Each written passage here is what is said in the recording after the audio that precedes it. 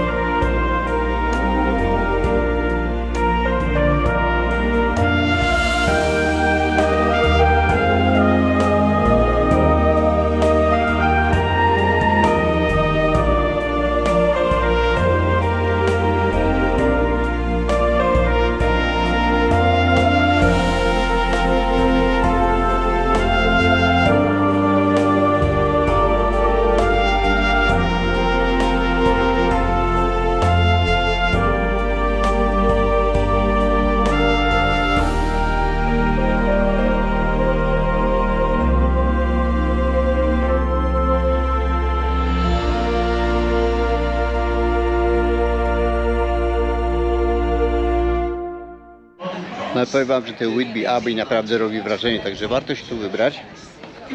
E, Można też robić sobie zdjęcia z daleka, ale wydaje mi się, że e, warto tu wejść, bo naprawdę pewne detale są nie do zauważenia z daleka, a, a robi to bardzo ciekawe wrażenie. Także idziemy dalej. Teraz zapraszam Was do kościoła St. Mary, który jest tutaj w pobliżu. Też bardzo ciekawy. A później idziemy do miasta.